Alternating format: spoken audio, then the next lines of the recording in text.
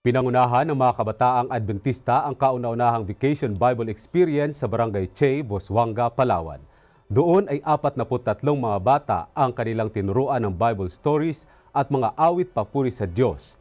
Kasama ng samut-saring fun and learning activities, si Josel Caraballe para sa report. Vacation Bible Experience matagumpay na nilunsad sa Barangay Che, Busuanga, Palawan.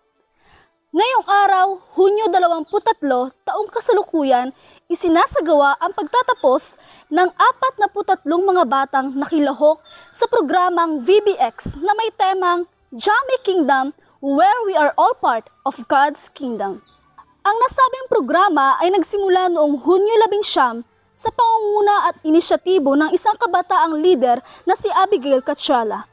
Kasama rin ang ilang mga voluntaryong kabataan na nagsilbing mga guro sa mga bata. Para pa sa paghahanda sa ating Vacation Bible School, unang-una ay ipinagnalangin ko ito, inilapit ko sa Panginoon. Hindi man naging madali ang kauna-unahang pagsasagawa ng programa, ay naging matagumpay ito sa tulong ng ating Panginoon at suporta ng mga miyembro ng Iglesia.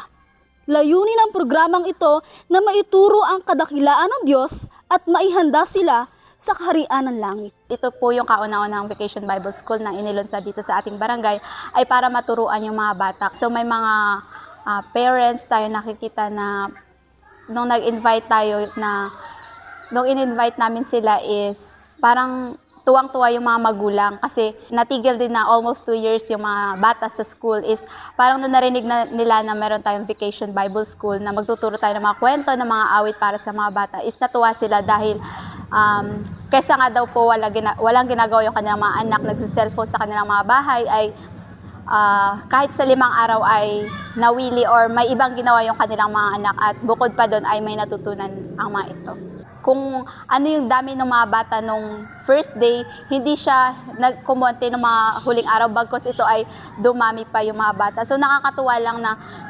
nakakatuwa lang na parang kapag may problema na parang nagkaroon ng problema is ma, manghina ka. Pero nung nakita mo yung mga bata is nakakatuwa kasi parang itutuloy mo pa yung ano parang gusto ko na next vacation is meron ulit na ganto yung mga ganong mga ganong kaisipan. So nakakatuwa at purihin ang Panginoon sapagkat sa loob ng limang araw ay nagkaroon ng matagumpay na uh, paglulunsad ng ating vacation Bibles ang mga naging karanasan ko po sa Vacation Bible School ay ano, pina-action song po kami, pinakanta, pinadrawing, tapos pinalaro po. Ang natutunan ko po sa mga kwento na narinig ko po ay maging matulungin po sa kapwa, mabait at saka po masunurin. Tunay na ang kaharian ng langit ay para rin sa mga bata.